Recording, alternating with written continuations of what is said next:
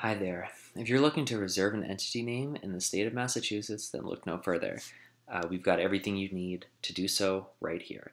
So basically, the basic information that you need to know about name reservation is it has to be filed in person or through the mail, and it will cost you $30, and that the reservation will last for 60 days. Now, um, if you want to learn more about it, you can click here, but, but that's essentially all you'll need to know.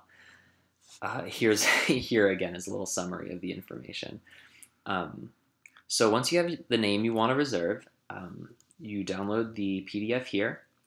Uh, you fill it out here. You just put the, the your name, uh, your address, the name you want to reserve, and your contact information. Um, can't be submitted by fax. Can't be submitted through the mail. So once completed, attach a check for $30 mailed out to the Commonwealth of Massachusetts, send it to this address, and consider yourself done.